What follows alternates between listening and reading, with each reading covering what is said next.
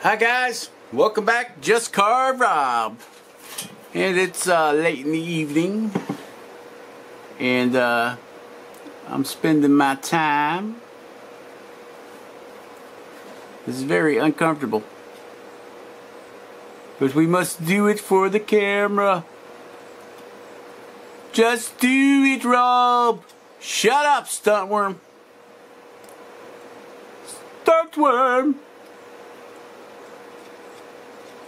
Okay, so you can see the design has changed, my friends. We're gone with a chainmail type of pattern instead of a uh, checkering pattern. When somebody says you have free artistic license, sometimes they revoke it. My license has been revoked, people revoked. Apparently, uh, the guy asked me where I get my checkering patterns from, so I told him. And he must have run right out and bought a checkering book. Because the next thing I know, I'm getting an email and a picture of this pattern, which I have in my large cabinet of books and patterns so this is what we're doing. Um, so let me bring you up to speed what we've done so far. Um, put the pattern on the gun stock and took the SCM high speed air tool, traced all this stuff, put all the chainmail in there, and now we're going through the slow and laborious process of Should be using two hands, Rob. You don't want to chip the scale above it.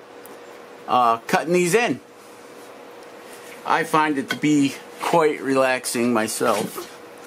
Um, basically, we're just dipping our knife down into the point of these little chainmail deals.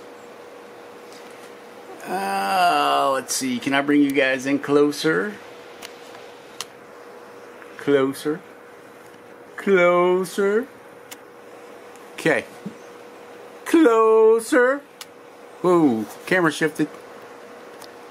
Okay, now you can see what I'm dealing with here, guys. It's going to take like forever to do these. Usually I do this on my lap with the gun stock across my leg. But for you guys, I'm uh, got it up here on the workbench. Got it rested out on a stand. And I still cannot find a comfortable position to carve this. So, see, I, I just taken the knife, take out that chip right there. And we come the other way, use my thumb as a lever and pop that chip out there. Then you just want to little slivers, little tiny slivers until you get to the edge. That angles all of your angles all of your let's say this is one of these uh, one of these chainmail things what it does is it stacks them like fish scales. Easiest way to say it. Stacks them like fish scales. Um, yeah, so that's what we're going to do for the next million years. Is, uh, I'm almost done for today. Was busy doing other things and came out here and to the carving shop, a little relaxing, do a little carving. So that's what we're how far we got so far. But don't worry, my friends, don't worry. For those of you that want to see checkering, we have uh, three more gun stocks to do, and I know of at least one or two of them that's going to be checkered. But this is another way of doing it. This is uh, in fashion right now. I think the checkering is timeless. It's been done for a thousand years. Since guns were invented, checkering has been the mainstay. But now there's, you know, people that want, they don't want checkering, they want this chainmail design, or they want a basket weave design, or, you know, stuff like that. And hey, it's their, it's their thing, it's their, it's their weapon. You know, you can have whatever you want on it. Uh, this is definitely going to cost him a little bit more because of all the knife work, all the hand work that has to go in. Well, even checkering. It's just the checkering is a little bit, believe it or not, checkering's quicker than cutting all these big, big, uh, I'm going to call them scales. They call it chainmail, but I'm going to call it scales. So, that's where we're at so far. Ugh. Yes. That's the other bonus of doing this on your lap. You do not have it flopping over on you. So, I think uh, we are going to do some more of this tomorrow. But I think uh, it's supposed to be 90 degrees tomorrow, so I was thinking doing it outside, you know. Set the camera up on the tripod and hopefully there's a breeze and I can just sit there and do some scale carving with you guys. Okay? So that's where we are right now, guys. I'll catch you later. Alright, guys. After a billion years of carving here, using the, uh, actually I switched to my OCC 1 inch, OCCT 1 inch carving knife. Um, lot more control than over that two and a half inch. Okay, so uh, basically we've got all these for the forearm cut in. Okay. And I've gone all over all of them with a knife, so they're nice and flat. They don't have uh, waves in it. Okay, and uh, this will be all dimpled or stippled, except for the ornament. This will all be stippled up here. Okay. And then these leaves will be shaped. You see they got the vein in the middle there, so they'll be cupped inward towards the middle. And the same with the bottom side border here. Okay. Um, we're not going to remove that much wood. If anything, we will try to very, well, we will really try to limit the amount of wood that comes off this side. Okay. Um, I'll probably end up making these leaves go, these little leaves here, and that little scroll doohickey. Um, I'll round those edges over to the outside wood, but not remove the outside wood. Same way with up here, these real fine real fine deals that branch off into three leaves. I'll roll that in and then this will be below the surface. It's going to be stippled. Okay, so we're not we're going to try not removing any wood from this side or this side, this side. Okay, we're going to make this. It's every all, everything that's going to be carved stays in here. Okay. So the next process will to be taking the SCM with a very fine detail bit and we'll do the same thing. We'll trace all of these chainmail deals and our leaves patterns the same as what's up on the forearm and we'll do the same thing here. We're going to try not to um, take anything away from this side or up in here. Um, if you guys have ever seen the hieroglyphs that the Egyptian Egyptians have done, where they leave basically the flush surface is untouched, but everything that's carved is always carved inboard. Uh, if you get a chance, go on Google and look up that e Egyptian hieroglyphs, and you'll see that they don't touch the surfaces here and here. All the work is done within that frame that they set. And we're going to try pulling that off uh, with this. So all the rounding and stuff of this will actually be this. It won't, we're not going to feather any of this away. Uh, we may sand it so that it's not a hard edge, but we're not going to remove any material from here on this side or here or here. So that's the game plan anyway. I hope, and I'm sure it will work out. I've done it before. Um, it's a little tricky, but it can be done. And when we get into that, you can see I already started doing it over here on this guy. But he's still in the uh, in this frame here, so uh, oh, I missed a couple. Got to come back and cut them in yet. Okay. Um, so when you're cutting the, these in, you might want to make these uh, these scales here a little bit lower to make this stuff here stand out. But we're going to do the same thing. All this stuff be rounded, and we'll try not to touch any of our scales. Okay? I gotta go back in here and touch these up here. Yep. All right. Um, no big deal. We'll get that in. I have to, as you go over it, you'll see where you need to go back and cut deeper or um, reshape. So that's it on this one, guys. Thanks for watching. Be awesome, carve something awesome, and we will catch you guys on the next one. All right? So just carve, share, subscribe, and like if you want to, and we'll catch you on the next one. Bye-bye.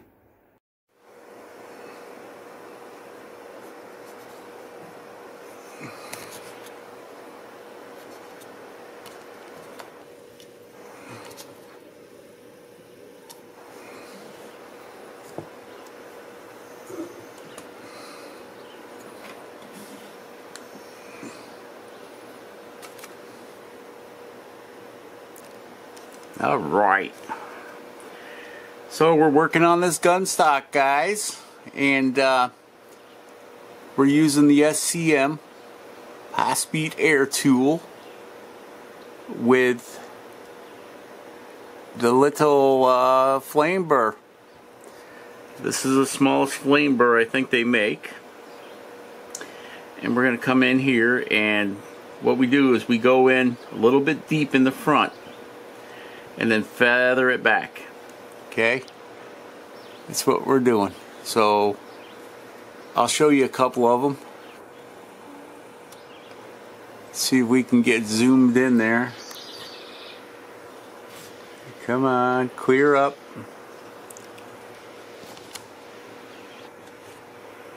Oh you just don't want to don't want to cooperate. Oh we had it. There we go.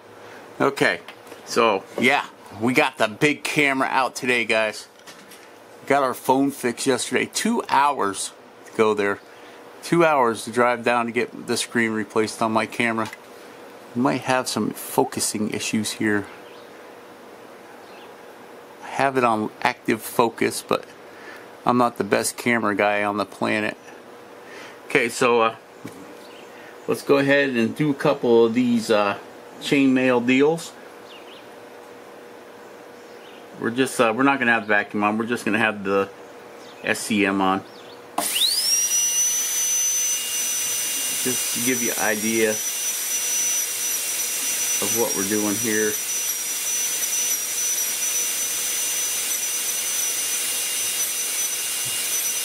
The SCM is uh, really takes away the materials so you gotta use a pretty light touch on it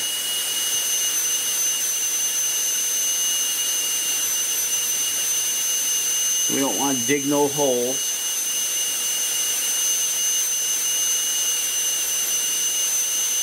Nice light touch.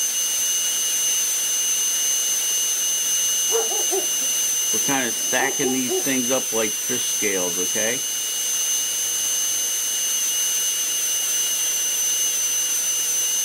And since our gun stock, it's going to be uh, what's classified as low relief carving.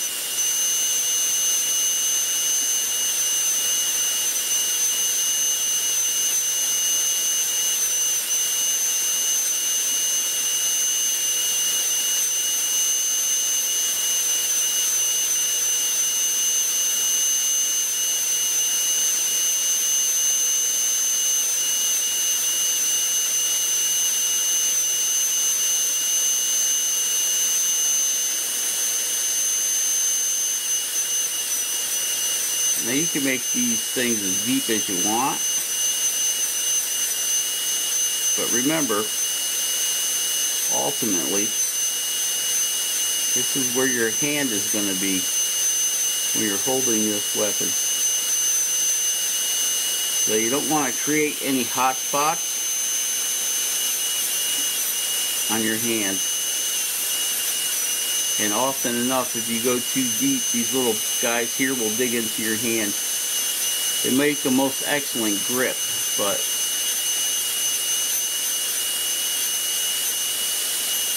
I've used this uh, design on some of my walking sticks. And what I usually end up doing is coming back with sandpaper and because on a walking stick, these end up being much deeper. Um, not that you have to put them in deep. I would say uh, if you're doing this for the first time, get a stick and uh, do a little stretch of it, maybe five inches long, and then grab it with your hand. And that will tell you how deep you need it. If it really bites your hand, creates a hot spot on your hand uh, where it's digging in too much, you can just sand them back.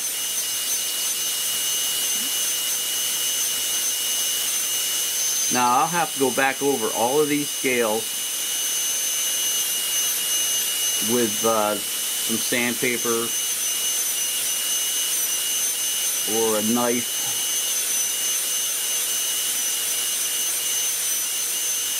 clean them up. Okay, so turn off. Or you could try the uh, the micro motor or Dremel.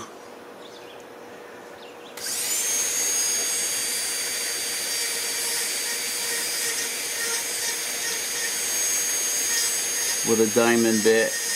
Now that is a diamond bit that we're using.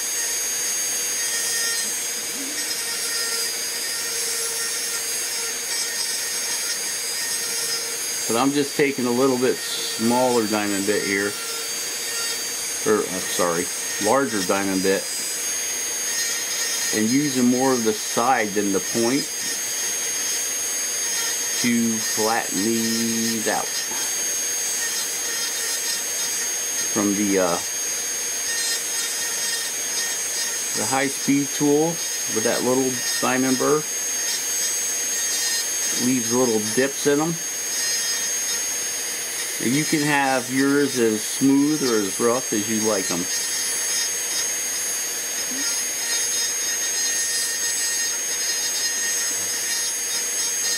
And as you sand these down, of course it's going to lower the distance from the top to the next scale.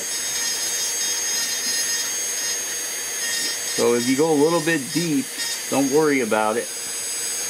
Because you can always come back and smooth them out and bring them down.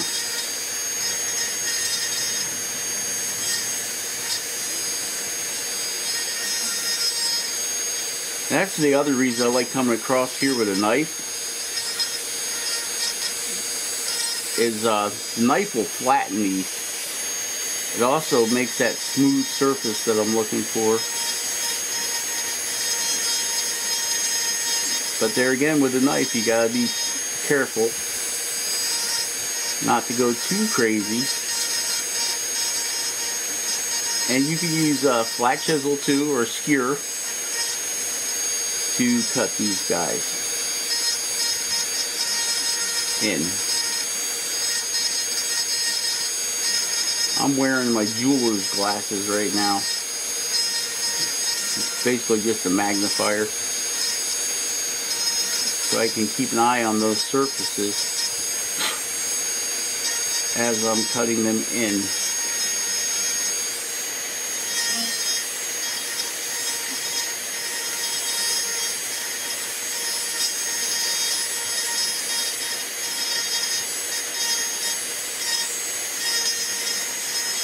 I think I'm going to try the larger football burr or uh, flame burr.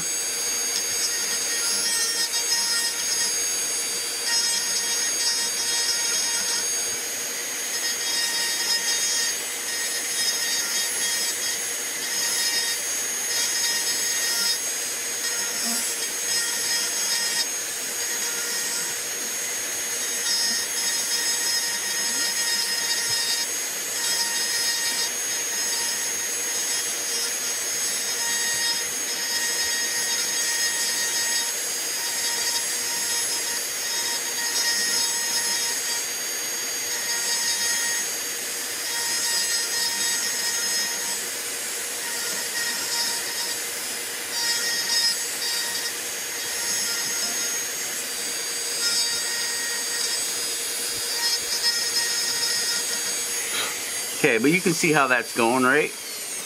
With the, that's the micro motor. We did the high speed uh, air tool. And the knife.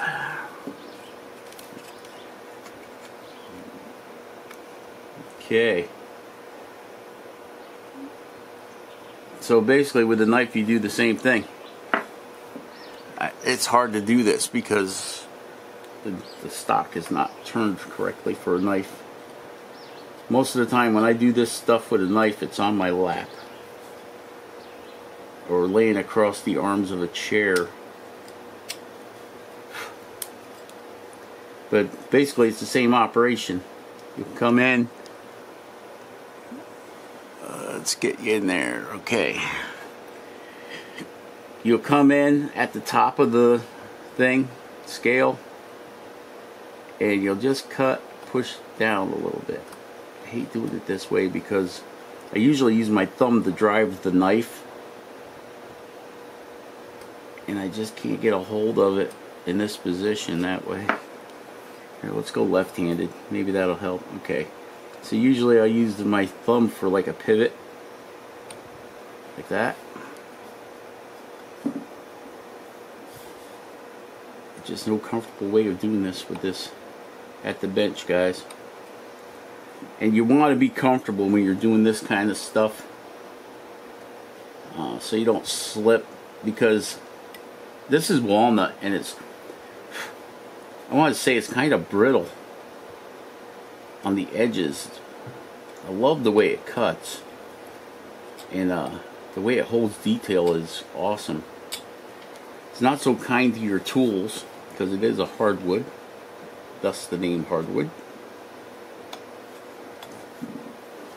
So you're just basically going, uh, coming in at that tip and then bringing it to your stop cut. And then I work it back until the paper's gone. This is a much more accurate way of doing these scales. Um, you have a lot more control with the knife blade than you do um, any other rotary tool. The rotary tools want to try walking on you. The SCM, because it's so fast, is probably the best one if you're going to use a, a rotary tool. Um, but I have done these with Dremels and smaller diamond bits. Okay. Are we in? Okay, good. We're in frame. I always got to keep checking because uh, gun stock tends to move around quite a bit. Uh, the other reason I do a lot of this is on a, on a, on my lap is because of the shape of the gun stock. It wants to flop. When you're when you're up like this, right on the edge, um, you got a balancing thing there because the stock itself it wants to flop on you. So it's much better for me. Let's zoom out. Wrong way. Okay, so it's a lot better for me to actually have it in my hand, uh, have the stock up under my arm where you can hang on to it when you're doing this stuff. So, I don't know how good this is going to be for the camera, but okay, I got the stock up underneath my arm, like where it would normally be. And you can see I'm using my, yep, okay, you can see. See, I'm using my thumb to drive the blade. And uh, you can control this blade so far as to just take the paper off. Okay?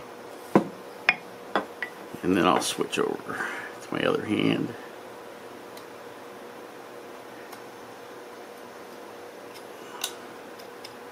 Yeah, using I'm using my thumb as a lever.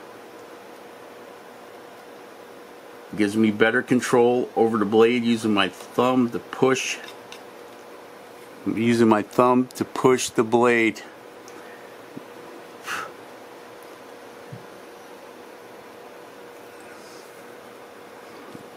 Checking to make sure that everything's staying in in frame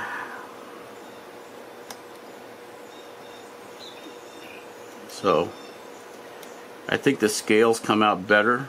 I mean, the the air tools and Dremels and stuff will do it faster, but then you gotta still go back with sandpaper or whatever, diamonds, sandpaper. You gotta go back to clean all this up. Now when I'm done with a knife on this, that's it, I'm done. Okay, you can see the, well, I don't know if you guys can see it. Let me zoom in.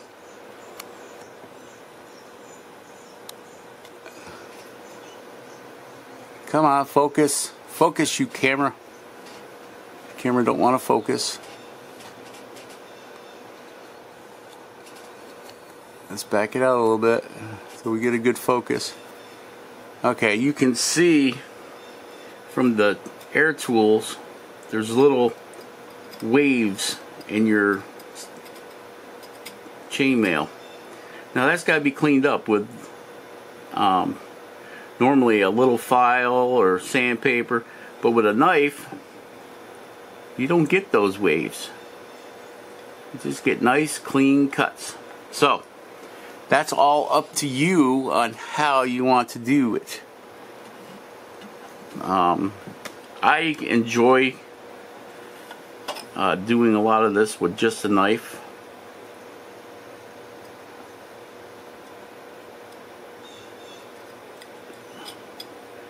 It gives you a sense of accomplishment, I guess.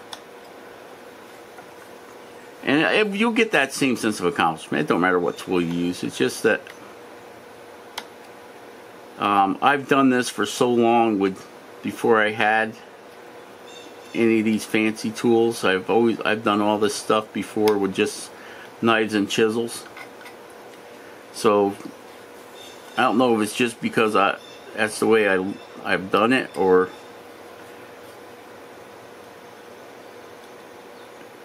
for a long time and I'm just more comfortable with it.